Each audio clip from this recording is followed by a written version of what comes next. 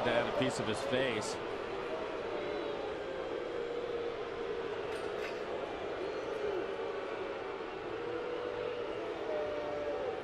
I'm not sure, but it looked like it hit his arm or his shoulder, and they came up and hit him in the nose. I agree.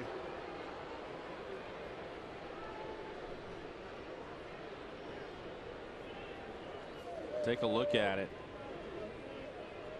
Oh, yeah.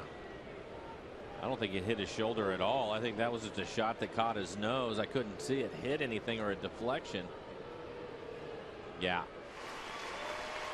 Looks like he'll come out of the game.